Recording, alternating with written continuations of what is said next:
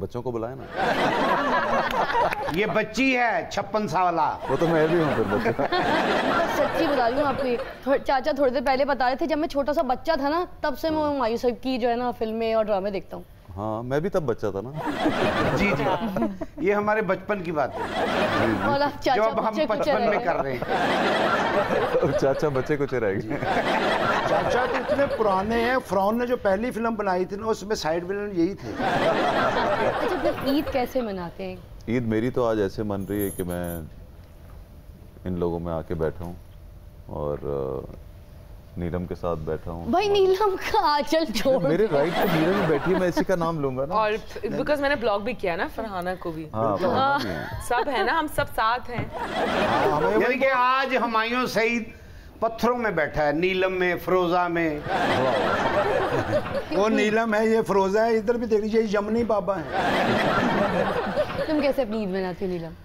बिल्कुल बच्चों की तरह। मुझे मुझे भी ईद ही चाहिए होती है। अभी भी वो शौक है। लेकिन वो सारी ईदी घर के बच्चे ले लेते हैं आगे से। हाँ। और फिर अब तो ये कि कड़क नोट होने चाहिए तो पहले से बैंक से पैसे वगैरह अरेंज कराने। दस रुपए में बच्चे मानते भी नहीं है बड़े मुश्किल काम हो गया। भांजे भांजी है मेरी भी। हाँ। फिर आप लोग के साथ ईद गुजर जाती है। मुझे बहुत अच्छा लग रहा है यहाँ पे आके ईद सेलिब्रेट करना। बच्चों को तो दस रुपए दे ना वो कहते हैं कि अगर ये दस रुपए दे रहे यही बाबा निकल के आपको मारेंगे।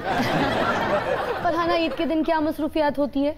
कहाँ बिज़ी होती हैं? क्या क्या कर रही होती हैं? ईद के दिन या तो शोज़ हो रहे होते हैं या इसी तरह छोटे भी हों तो फिर भी ईदी देनी पड़ती है क्योंकि ये मजबूरी है क्योंकि अब भांजे भांजी हैं वो भी बड़े हो गए हैं। और अब जो बड़े हैं वो भी कहते हैं आप ही ईदी दें।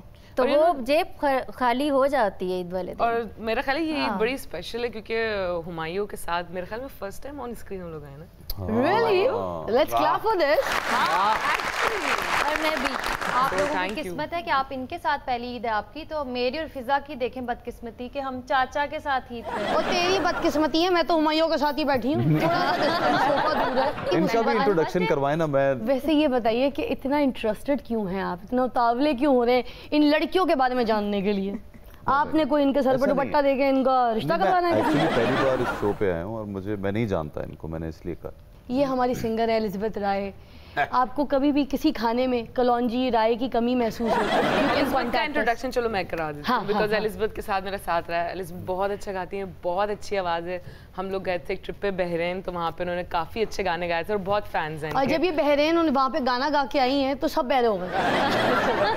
ऐसा हुआ था? ऐसा हुआ नहीं नहीं, मज़ाक हो रहा है। तब से तो कहती है हैं? जरा ऊँचा बोलना। ये कट जाएगा ये है आयशा ये है हमारी मॉडल क्या बात है? ये बेचारी हमारी डॉक्टर इकरा कंवल। सिंगर है भाई। और वो हमारी बैठी है वक्री न्यूज़ देने वाली निर्मल। ऐसी ऐसी खबरें सुनाती है बंदे का दिमाग खराब हो जाता है। आज भी सुनाएँगे हम आपको। और साथ बहुत अच्छा लग रहा है खबर देने वाली इससे तैयार। यही यही तो अपनी बात है। मज़ा आएगा आज आपकी खबरें सुन और ये है हमारी फिजा बहुत टैलेंटेड है माशाल्लाह। किसी बारात में अभी खाना लगता है ना ये पहले खा जाती है। दूर दूर से हड्डियों से मिख निकालने के लिए इसको बुलाया जाता है। कहीं शादी हो रहा हो, इसका नाक इस्तेमाल होता है। ये सूंघ के बताती किस मोहल्ले में शादी है, वहाँ पर कौन कौन सा खाना बना है। देख धोने के लिए ये इतनी एक्सपर्ट है कि अल्लाह अकबर कोई धो ही नहीं सकता। और ये बता देती है किस देख के अंदर चावल है, किसके अंदर पुलाव है, किसके अंदर मटन है, किसके अंदर चिकन है, और किसके अंदर सिर्फ़ गर्म पानी है।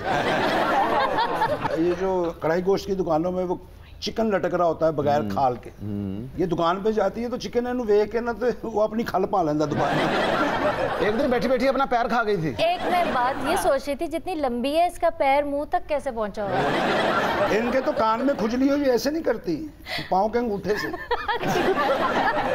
वैसे मैं इतनी खाऊ औरत हूँ कि अगर मुझे पता चल जाए कि खाना खुल गया तो मैं लाश पे भी लंग के खाने पहुंच जाती हूँ ਇਹ ਤੇ ਰੈਸਟੋਰੈਂਟ 'ਚ ਵੜਦੀ ਨਾ ਉਹ ਪਤੀਲੇ 'ਚ ਜਿਹੜਾ ਸਾਲਣ ਪਿਆ ਹੁੰਦਾ ਨਾ ਉਹ ਆਪਸ 'ਚ ਗੱਲਾਂ ਕਰਨ ਲੱਗ ਪੈਂਦਾ ਉਹ ਬੋਟੀਆਂ ਕਹਿ ਰਹੀਆਂ ਹੁੰਦੀਆਂ ਨਹੀਂ ਭੈਣਾ ਆ ਗਈ ਤਕਰੀਬ ਕਰ ਹੁਣ ਸਾਡੀ ਜਾਨ ਨਹੀਂ ਬਚਦੀ लेकिन खाना चाहिए इसीलिए इनके चेहरे पे काफी रौनक है मतलब हाँ खाना चाहिए लेकिन घर से खाना चाहिए ना और भाई जिस रौनक की आप बात कर रहे हैं ये तीन चार लड़कियां यहाँ बैठी हैं जो लगाती हैं इसके चेहरे पर रौनक भाई भाई इंट्रोडक्शन तो हो गया सबने मुँह धो लिया ना ये आपके सामने घूमेंगे आप नहीं पहचानेंगे। मैं ही वही है जिदा हूँ इंट्रोडक्शन होया ना। नहीं वैसे मैं आपको बहुत काम आ सकती हूँ। जी कैसे? जिस तरह की मेरी जिस्मानत है। ये जस्मानत कौन सा लफ्ज है? मेरा ख्याल कोई अपनी किताब काट रही है। अगर बेवकूफ़ी में आस्कर मिलता तो फिजा को मिलता। नहीं नहीं चाचे को बकवास कर तो मिला है। चलो ना इनसे पूछो ना कैसे ईद का दिन है मनाते और फिजा बहुत प्यारी लग रही है। बहुत प्यारी अल्लाह को भी। लगेगी इंशाल्लाह। फिजा कोई बात नहीं जब कोई बहुत प्यारा लगता है ना लोग इसी तरह जलते हैं। हाँ, जलने तो जलने वाले का मुँह काला है। ना जब आप ईदगाह पे जाते हैं नमाज़ पढ़ते हैं ईद की स्पेशली तो फिर सेल्फियाँ तो बहुत सारी कराते होंगे। उस वक्त सेल्फी से ज़्यादा सब गले लगने के चक्कर में होते हैं। ख्याल वो ज़्यादा अच्छी चीज़ है। हाँ। हाँ ये वैसे ज़्यादा अच्छी चीज़ है। अच्छा तो नीलम आप कौन सी ईदगाह में जाते हैं? आप क्यों पूछ रहे हैं? अभी आपने कहा ना कि गले मिलना अच्छा लगता है तो इसलिए चाचा अक्सर गले पड़ जाते हैं। चाचा कभी कभी पीछे भी पड़ जाता है। गली मोहल्ले में अकेले निकलो ना तो एक ही आवाज़ आती है हमायूं भाई अगर आपको नेक्स्ट टाइम अपनी फ़िल्म में डॉगी की कोई डबिंग करवानी हो ना तो फिजा से रब्ता कीजिए। नेक्स्ट टाइम क्या मतलब? पहली बारी तो अड़े नाल करवाई थी।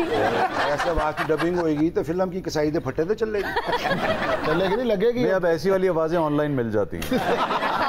इनकी आवाज़ में ना बड़ी वेरिएशन है कि ये छः माह वाले का भी निकाल लेती है आवाज़ आठ माह वाले का भी साल वाले का भी अंधे कुत्ते की भी आवाज़ निकाल एक तो गुंगा कुत्ता अंधो की भी आवाज़ कट लेंदी बल्कि बड़ी अच्छे तरीके ना करे वाह वाह वाह वाह वाह वाह वाह वाह वाह। वैसे तुम्हारा कॉन्ट्रैक्ट कैंसिल आप ही ठीक है।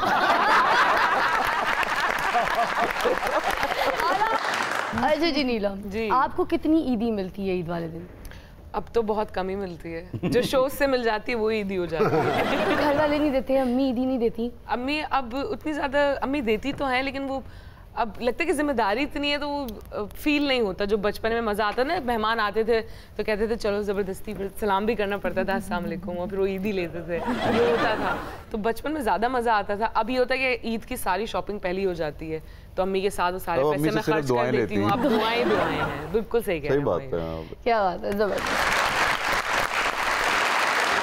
फरहाना अगर आप प्लस माइनस करके देखें तो ईद वाले दिन आप प्रॉफिट में होती है नुकसान में? नुकसान में हंड्रेड परसेंट ये सारे खा जाती हैं। खा नहीं देते बस छीन लेते हैं सारे। मतलब तुम्हारा हिसाब पाकिस्तान की मतलब- इकोनॉमी वाला है। मतलब यही बात है ना कि अगर आप बाज़ार में भी कभी गलती से कुछ चले जाएँ तो आपको लोग पहचान के चीज़ होती है उससे डबल पैसे लेते हैं। ओ बाजी आगे ड्रामा वाली क्या खौफनाक एक्टिंग करती है। खौफनाक अदाकारी आप करती हैं उस वक्त आप मेकअप में होती हैं या विदाउट मेकअप असल में ज़्यादातर एक्टिंग की ही विदाउट मेकअप है। इस अच्छा, वजह से उनको लगता है कि वो खौफनाक है कार्टून टीवी होता भी वैसा ही होना बेचारा बहुत ही थर्ड क्लास किस्म का।